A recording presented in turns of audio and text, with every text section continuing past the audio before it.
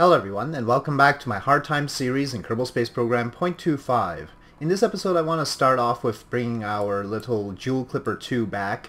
It is currently orbiting BOP, and it's got plenty of science on board, and I want to see if we can retrieve it. Remember, the issue is whether we have enough fuel to actually bring it back to Kerbin. And if we can't, we'll have to transmit the data instead, but I do want to get this data back. So I've uh, time warped uh, to where Kerbin is a little bit behind where it needs to be for our transfer but uh, that's because we need to get this thing out of BOP's orbit and back into back into Jool's orbit. Uh, the angle is supposed to be, Kerbin is supposed to be uh, 48 degrees behind Jool. So I've got it uh, more like 50 to 55-ish. So that's the situation. And now we need to boost this out so that we can get into orbit around Jool probably, well, which way are we going around this? Okay, yeah, so we can create a maneuver here. Let's see how that works out.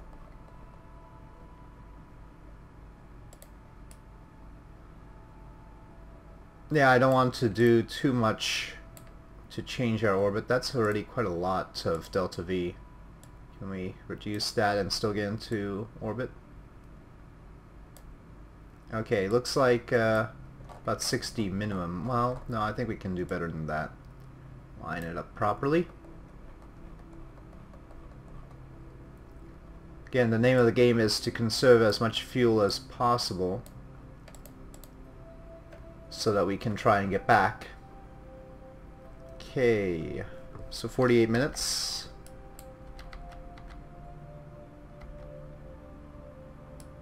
And then after this, I have, uh, hopefully we'll have enough science to unlock the technology I need for my special, the thing I want to do with the Derrick.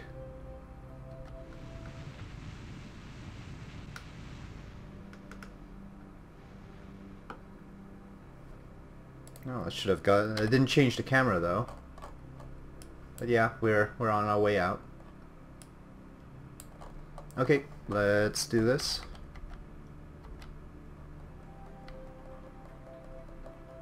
Okay. Now, how much will it cost to get back home? We're going to have to orient this way. Well, we're pretty much where we need to be to burn out, I think. Okay, we're at a good place though, uh, the descending node and the ascending node like that, so it probably won't have to correct our inclination. Ooh, but uh, timing is a bit off right now. Again, uh, we, we have to wait a little while for Kerbin to get into the right location. By that point, maybe we'll be alright. 1500 delta V. Okay, let's see if this guy has that kind of delta V. Okay, I've, I get that we have 1,933 meters per second of delta V. So we have enough.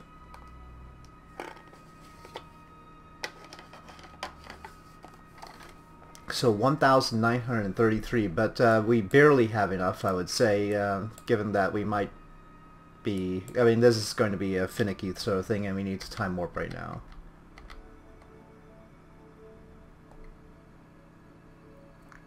Okay, I'm not going to try and fiddle around with it right now. That's uh, good enough for me as far as that's concerned. It's going to be tough, though with only because we're going to be 30,000 kilometers away from Kerbin. And we only have 400 meters per second to get in nice and close to aerobrake but let's do this. So here we go trying to bring this guy back home and get its science. If we can get its science then I think we can unlock at least uh, what I need is the big reaction wheels. Because uh-oh. Oh uh, I need to transfer fuel. Yeah. actually let's uh, throttle down while I do that.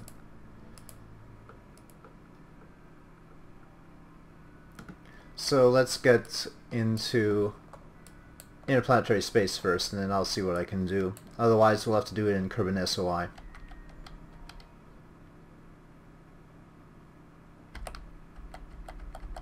Okay, I think that's close enough. Let's try and uh, correct our situation.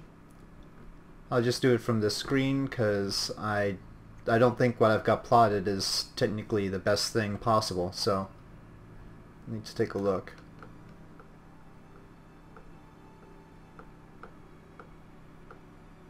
Okay, there we go. Curved periapsis 30.8 kilometers. That will do fine. Okay, let us bring it in. Looks like we had plenty of fuel to spare actually. Okay, here we are. Actually, the orbit's not that bad. I think, I, of course I'm going to want to head in straight down. So, that's enough. 25 kilometers will definitely capture us and, and bring us down. So, okay, Okay, we have capture. Camera change.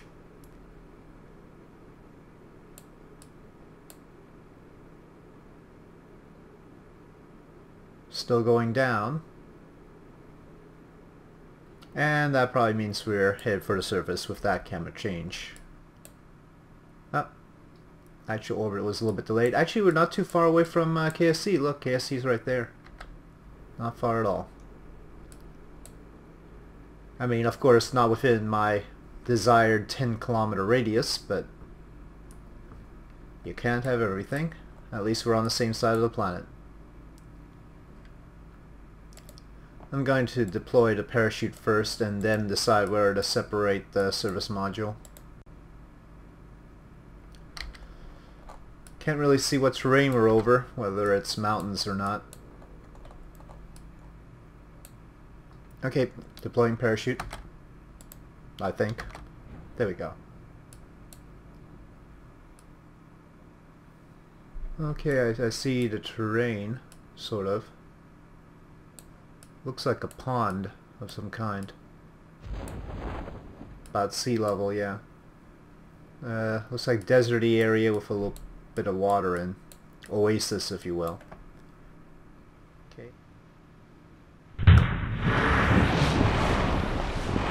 Wow. That was a loud splash. Okay, let's recover vessel. Alright, so we got the service module with us. And since we are close to KSC, that was probably worth it.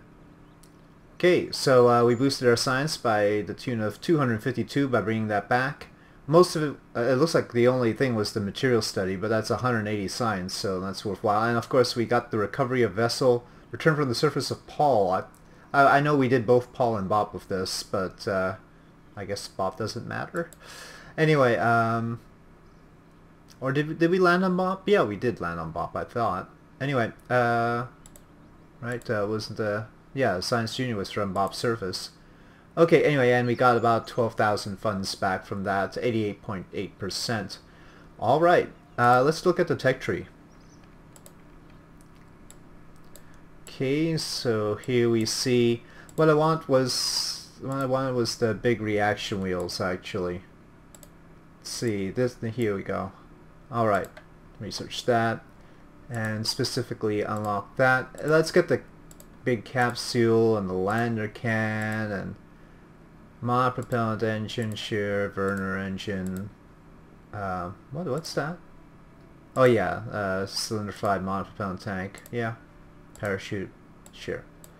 Okay um, we have enough for one more of these this level. We could have the big lander legs the claw or crew tank and docking port. That's that's a tough call between those possibilities.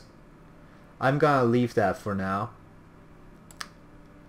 Can't quite decide between those those possibilities and we don't need those for what I'm about to do. So let's go to VAB Actually, cancel that. I have decided I need these landing struts. Without those, we can't make things that uh, come back down, large things that come back down safely. Uh, you'll see what I mean. Okay, back to the VAB. Okay, ladies and gentlemen, I've unlocked a bunch of parts. Uh, for instance, this adapter, most of the 3.75 meter parts, um, obviously the lander legs I just got, the the what you got reaction wheel we got and uh, yeah and this little uh, adapter here. But yeah uh, this is the Derek shuttle. Yes. I have decided this is this is not the most elegant thing. It's it is a brute force method to create a space shuttle. And um, yeah uh, meaning that I didn't want to do a whole lot of testing where things exploded so I just made sure that I had a huge amount of the mass on this side and of course the vast majority of the thrust on this side and I've action grouped it. Now the Derek shuttle already had its own action groups for instance for the air intakes and the engines. The action groups are for these engines down here and number 9 turns on and off this engine and number 10 turns on and off the outer engines. Um, the the beauty of this is that it is a or meant to be a fully reusable shuttle system. All of the boosters come back down. They all get get into orbit. Everything gets brought into orbit. None of this uh, detaches prior to orbit.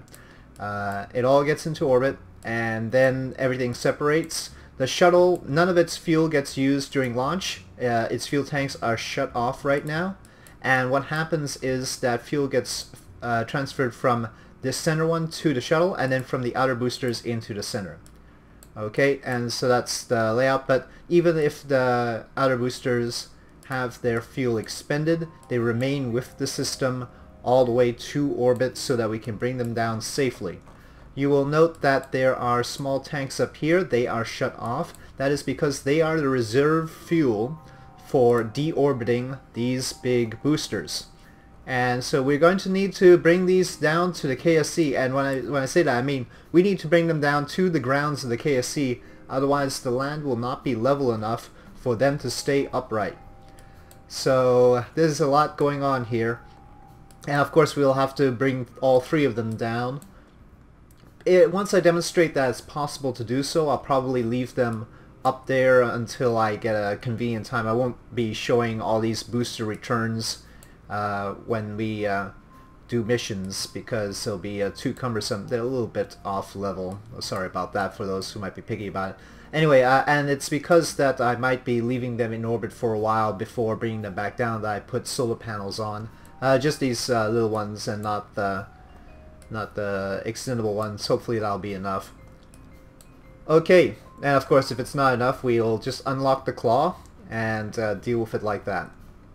And so the benefit of this, of course, is that the, the Derek does not have to use any of its fuel in order to get into orbit. And then once in orbit, it can uh, proceed to other locations, for instance, Laythe, perhaps, and conduct operations there, or, or uh, even Duna, and uh, maybe even uh, launch a probe. Um, somebody had asked how much delta V this has, and I ended up underestimating it. I actually accidentally uh, only got two-thirds of the fuel into the equation. So let me do that again now, trying to figure out how much delta V this has just in just in the uh, LFO tanks, liquid fuel oxidizer tanks, and not in the not in the what you call it, uh, liquid fuel jet mode tanks. So let's see now. Okay, I think this uh, the Derek has about 3,300 meters per second of delta V. Uh, that's what I would estimate, uh, depending on the payload, of course. So that's the situation with that. Uh, these things have an obscene amount of parachutes, as you can see, so hopefully that will be worthwhile. Uh, without further ado, let's uh, let's take it out to Launchpad. Oh wait, let's uh, pick our crew, right? Well, for this, Jeb and Bill, I guess this is their time, right? This is gonna be interesting. Okay, Yep, uh, let's let's take it out to Launchpad. Uh, I don't know if this is... Well, just now it uh, went into physics mode and the, the launch clamp was actually flexing. That might be a problem. Uh, but uh, let's time warp to daylight here. Okay. I think we're all good. So it probably goes without saying, I built this in Sandbox, so I knew which uh, Let's turn off the air intakes. So I knew which parts I would need in order to uh, build this. I knew the math already. Remember, in uh, in my .24 series, the Efficient Design series, I've been bringing these boosters back. I've actually been doing uh, single stage to orbit systems pretty much all the way. And so I knew the ratio of how much um, payload they could bring up uh, with uh, given a certain amount of uh, fuel and thrust, right? So I've got those numbers down. So I knew that I would need all of this uh, going on here. I did. I have already done some basic testing just to make sure that uh, things don't break apart. So uh, Jeb and Bill, I, I, trust that they'll be safe because of that. But that does not mean that this mission will be a complete success. We have a lot to work out just yet. For instance, when I need to switch off various engines. Again, I'm using brute force, so um, it's just a matter of managing thrust, and that should be enough to keep this going. And I, I know enough about space shuttle stuff. I've done, if you look through my previous videos, I've done space shuttle stuff before, so uh, I know how this goes, hopefully. Alright, uh, things are a bit tight though. The key, the, the one thing I was really testing for is making sure this goes up straight. Uh, very important. And I think uh, we've got that down. Alright, Jeb and Bill? Alright, here we go.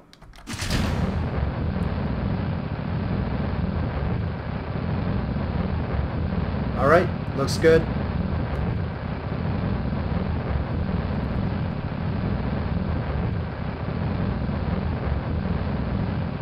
Overheating in the rapiers is standard. I'm going for a roll program.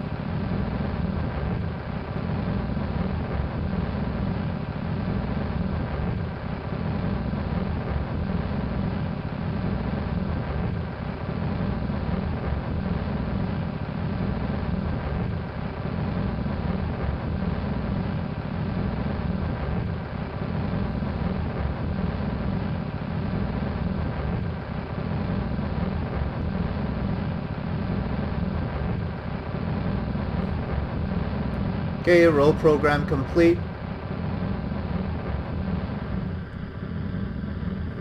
Okay, looking good. So the trick here is you'll notice eventually that my pitch input will be getting more and more extreme. And at that point I need to switch how the thrust is going. You can see it's already adjusting pitch down in order to keep things steady. I'm going to start uh, doing the pitch program here.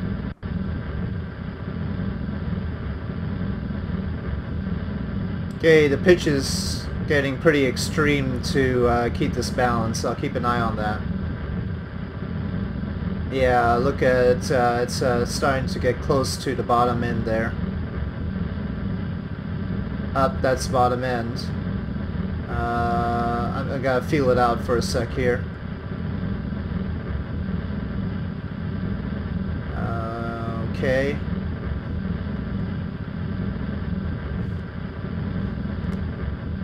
Alright, I'm gonna switch off the center.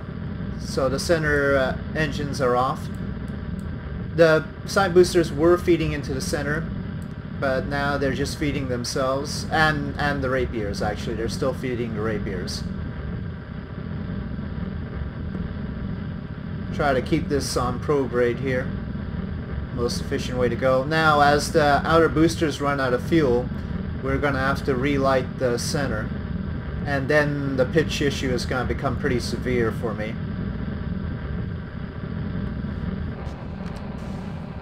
Okay, pull up, pull up, pull up. You can see I'm pulling up all the way here trying to keep this safe.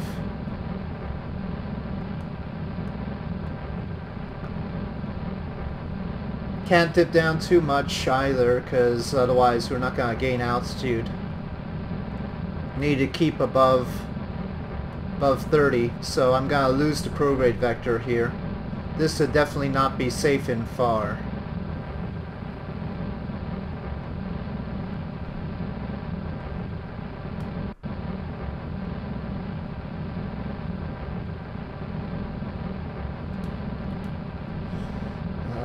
Pretty extreme here.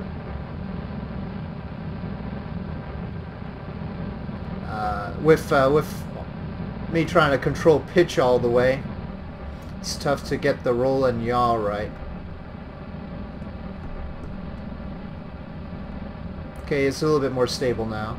I've got a little bit more pitch authority. Still keeping the angle above 30 because we're still like below 30 kilometers here.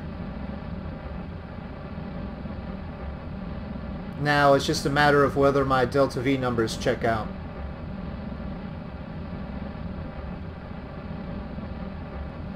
If they don't, we can just dump the boosters and uh, get the get the shuttle into orbit. Uh, Derek will be able to get into orbit on its own.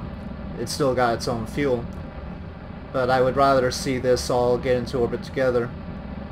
It's pretty costly after all. That's a good point, by the way. We do have a budget, right? This is a very expensive craft. We do want to see all of this come back down together. And it's the, it's the coming back down thing that's got to be tricky, because I have never landed any boosters of this size. I've got the reserve fuel, but it's not much.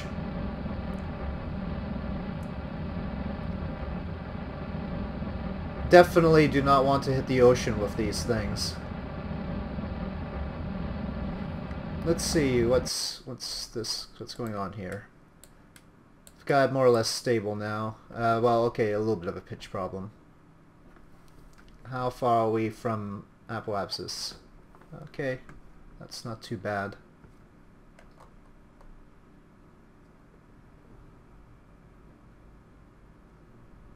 Looks pretty stable to me. Looks good.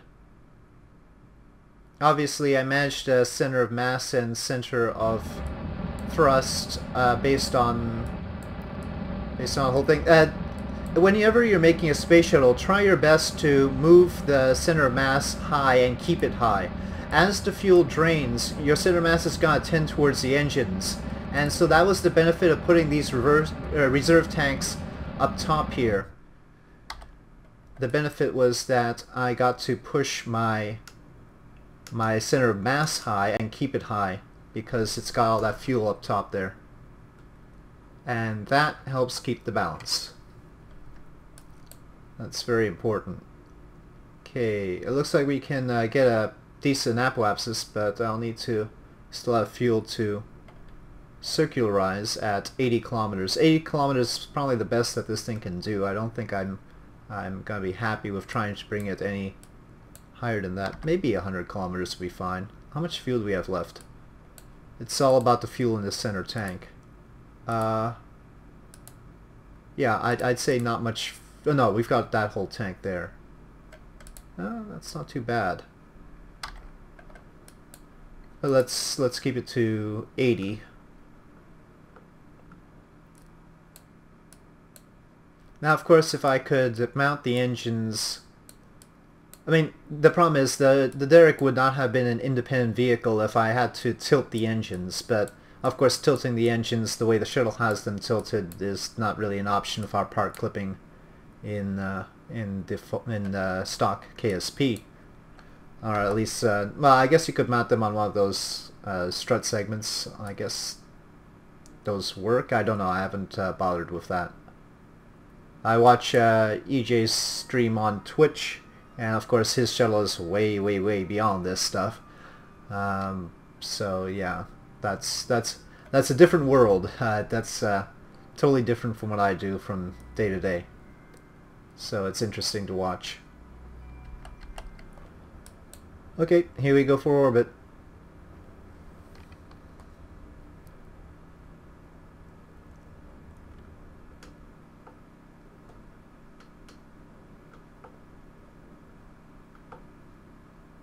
Okay, that looks like uh, that's 83 by 78.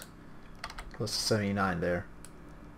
Okay, and we have some fuel left over in the center, so we can carry a payload. Obviously, uh, right now the payload bay is empty, but I think uh, that uh, fuel signifies that we can bring a payload up with us. That's very important, obviously. Now, uh, my specialty in this, I, very rarely do I get separations wrong, so I'm I'm interested to see whether I've got that right here. Let's see. Uh, the first thing that should happen is that the side boosters will separate. They've got their reserve fuel and everything, but they're otherwise empty. Let's see. Should be interesting. Do I want to do this? Yeah, okay.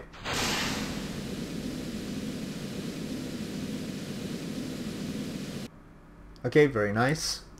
Now, in theory, with the remaining fuel in this, this could boost the shuttle on its own to a higher orbit, if necessary. But for now, we're going to keep the the shuttle into in this low orbit. So let us let's just decouple it, I suppose. Let's take a good look at that. Make sure that the little boosters. You can see I've uh, tilted the boosters out to make sure that they don't actually burn the shuttle at all. Let's see how that looks.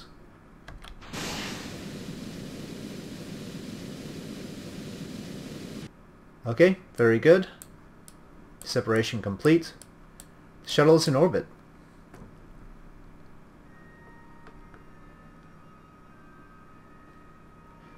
Now I have three tries to figure out how to get these boosters down, right? We'll see what kind of percentage chance of recovery I've got on these things. Let's go to free camera here. I think the shuttle, the real shuttle, actually faces down on the daylight side to protect the cargo bay from solar radiation and I just use the bottom of the shuttle to to keep it safe from radiation. I haven't actually landed this shuttle with a full load of fuel, have I? That's sort of important. Uh,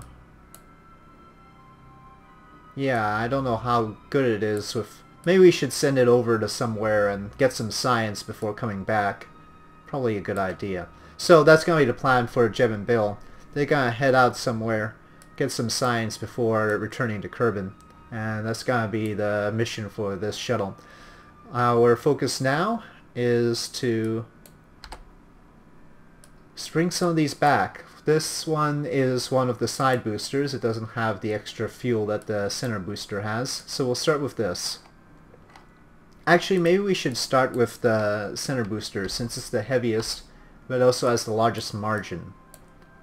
So, first thing to do is to pump the fuel from the top to the bottom. Oh, well, not necessarily the bottom. We can uh, go to this tank since the bottom doesn't have quite as much space as it needs. Okay, and of course you want to shift the fuel from the bottom instead of unlocking this tank because you need the center mass way low now so that it can maintain stability, right? Okay. Now, what we want to do is at 35 kilometers above the above the peninsula there. That's what I checked out. Uh, again, this is from my my .24 Elegant Design series. I've been doing testing of this sort in that series to figure out exactly what altitudes I want for returning these sorts of things.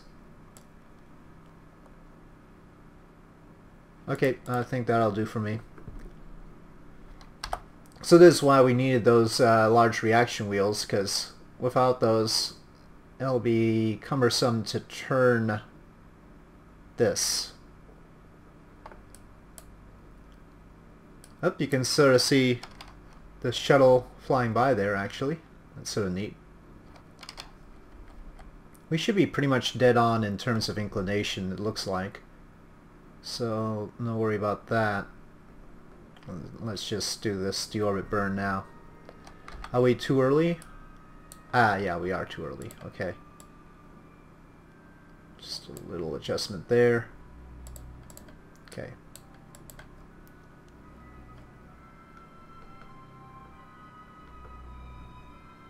Okay, so 34.5 is what I'm going to aim for here.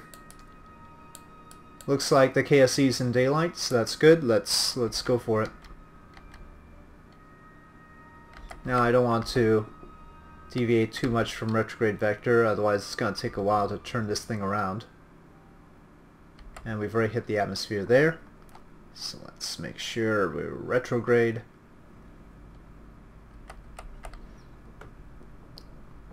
Okay, so as usual my benchmark is I want to hit the shore at 34 kilometers.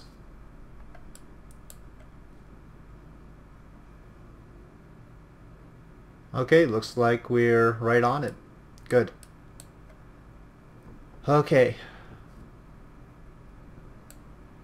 Looking pretty good.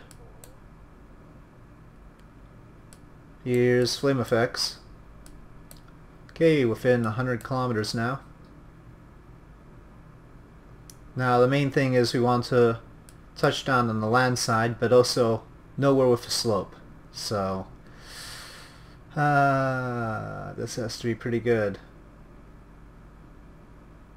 But this is looking much better than I thought the first try would be.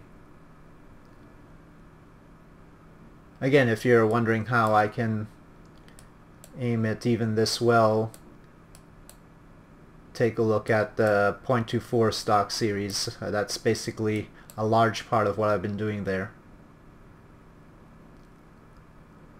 But I think we're going to fall a little bit short. Maybe if I wait a little while before pulling the parachutes, it'll be better. Okay, we're below Mach 1. I don't think I got get too much closer than this. Okay, parachute time. Okay, the other thing was if the parachutes were going to rip anything up, and doesn't look like it. Looks like we've got that much down. SAS off, gear down. You can see how puny the landing gear is. Okay, with it off, oh, 9 meters per second, ouch. Was hoping for a little bit better than that. But let's not risk any funds here. I'm going to slow it down to perhaps 4 meters per second. But we don't have to do that until we're closer to the surface.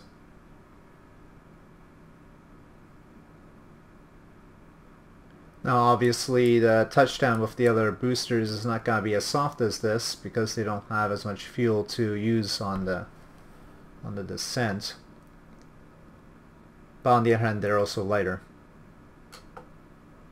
Uh, okay, oh no no no no please uh, let me recover. Okay, well. okay, well we, we got to recover vessel before it decided to destroy us. Let's see. Okay, 97.4%, 108,000 funds, which gives you an idea. Each of those boosters, 100,000 funds. We need those back. I don't care if I I need to rush towards uh, recover vessel. Okay, let's try one of the side boosters this time. Now on the last one we did 34.5 or 6-ish. Uh, let's try 34.7 with this one. Looks like we're still all in daylight, so that's good. Gotta plot it. Okay, uh, 30... Okay, that's close to what I wanted. 34.7 was what I said.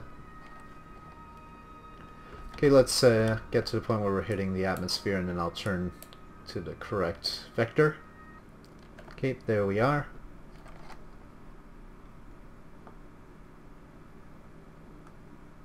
So uh, you can see we still have 311 liquid fuel out of the 360 that we had in reserve, so we do have some buffer here.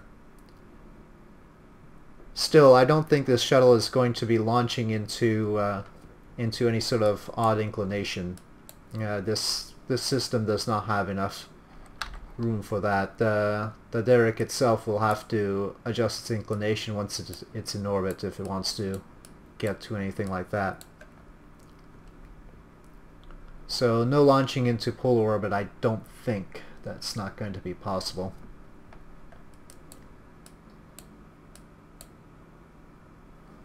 Okay, here we go. Checking this out. It looks like we're going to be approaching high, er at least. Yeah. So, let's use a little bit of thrust to retroburn here. Don't know about how much, but let's say about there. One thing I don't want to do is hit the water, of course. We can also uh, deploy the parachutes earlier than we did with the last one. And uh, others will tell me that I can use all sorts of aerodynamic stuff, but the problem is we're still in testing mode. So I actually want uh, somewhat uh, more direct numbers on this stuff right now than uh, what we might get with uh, deflecting it too much.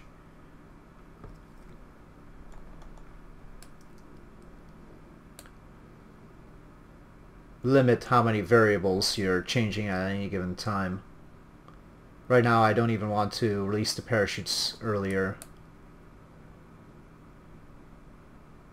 Let's see if this is enough. Yeah, I think it might be. Okay, uh, certainly don't want this to be like a missile head for our facilities, but think we'll be alright.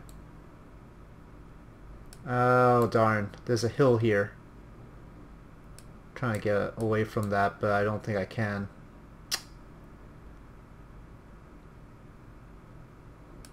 Alright, parachute deployment. Oh no, it looks like looks like we are on the on the KSC grounds. Hopefully it's as flat as I hope it is. Tough to see from that angle. Gear down.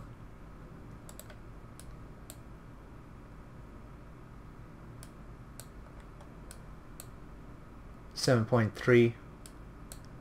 Once we get within a hundred meters, I'll use some engine power to slow us down. Just gonna get to 5 meters per second this time.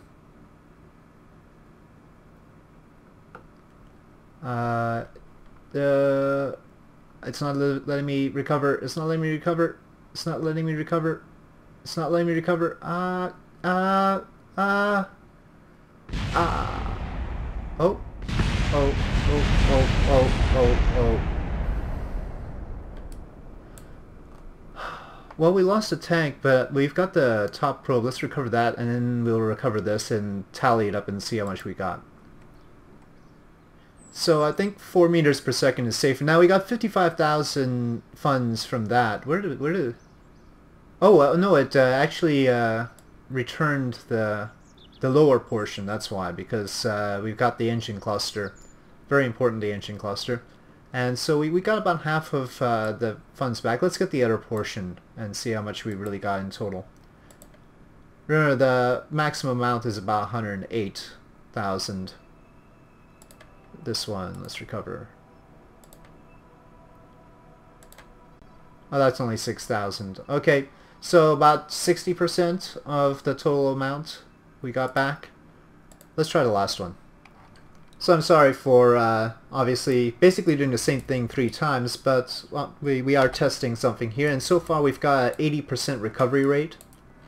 So that's an important statistic that we're going to be using for assessing the cost-benefit analysis for these these shuttle missions, right? We have been landing somewhat short, after all. We could use the parachutes to give us extra drag. Well, not no, we weren't short last time, actually. That's not true. We, uh, we actually had to use some... Ah, that's too much. We had to use some thrust in order to slow down. Maybe, maybe it's good enough. Uh, instead of spinning around and around here with this. Trying to get the right number. Not even sure what the right number might be. I know the ballpark, but every orbit is different. Okay, we'll go with that.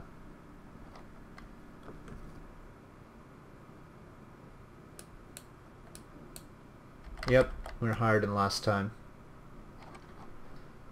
Let's correct that.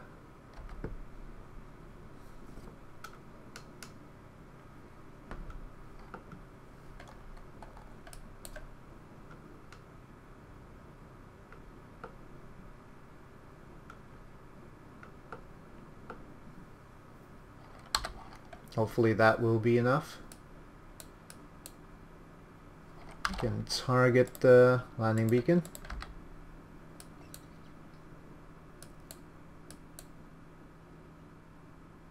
And we're going to have to touch down at about around 4 meters per second this time. 5 was clearly too much. Or at least uh, I wasn't able to get to recover vessel in time to save the darn thing, so... After this, uh, I, I won't necessarily deorbit them immediately, like I said. So what's going to happen is I'll deorbit them when I need funds. So There'll be sort of a orbiting bank of funds, and then I can deorbit them whenever I need the cash. It's sort of the idea. I mean, right now, well, it's not even showing how many how much funds I have. I hope they fix that. I think we're going a little bit too far, aren't we?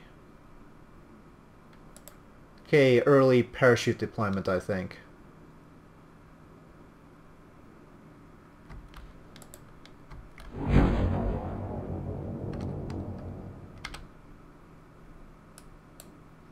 Oh dear, I think we're going to have to find out whether we're going to be able to recover this in water.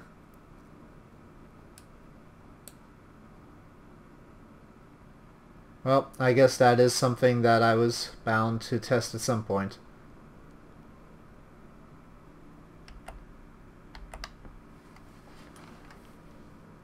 Okay, full parachute deployment, 7.6 meters per second, have to conserve fuel.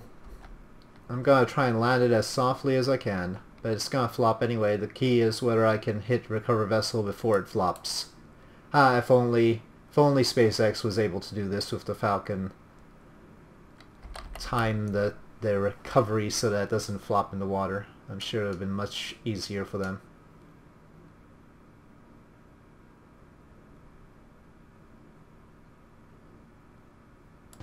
Okay, recover vessel. Aha, I beat it.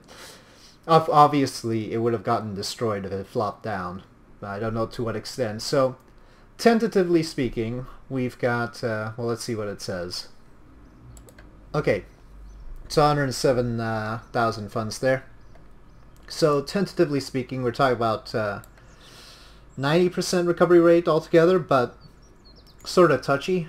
Uh, definitely a benefit if you touch down less than 4 meters per second. Seems like the recover vessel button is more likely to show up before you flop. Uh, I would prefer not to have to rush before I flop. I would prefer to land on a runway, but that would probably mean reserving much more fuel than I'm doing right now. So we've got a tight margin situation, and it'll we'll, we'll, we'll see. Now, obviously, we won't be using this system for everything. Uh, the larger payloads will be just launch normally and well we, we might use one of the boosters as a recoverable launch system for instance or maybe all three as a recoverable launch system for some payloads but it might be more efficient just to launch things in a, on a more normal rocket. And of course uh, the DRK shuttle will be a special purpose. I don't know uh, we might want to just refuel the DRK in orbit now and have it do various missions. I'll see what I want to do with that. Of course, uh, Jeb and Bill are in orbit right now, and I'll have to take a look at our contracts and see what we can do with them. But uh, yeah, so uh, uh certainly a successful mission in terms of getting the shuttle into orbit, and uh, with with the entire system getting it all into orbit. Uh, we know that that the DRK can land. We've done that before. So that's that's pretty. Uh, uh, so we're comfortable with that. Landing the boosters was sort of an iffier proposition, but we got most of our funds back, uh, the vast majority of our funds back, uh, with with a little uh, judicious rush to the recover vessel button. So uh, that's the state of things. Uh, thank you for watching. I hope you enjoyed this episode. If you did enjoy this episode, please do press like. If you have any comments and suggestions, please leave them in the comment section below. And I'll see you next time.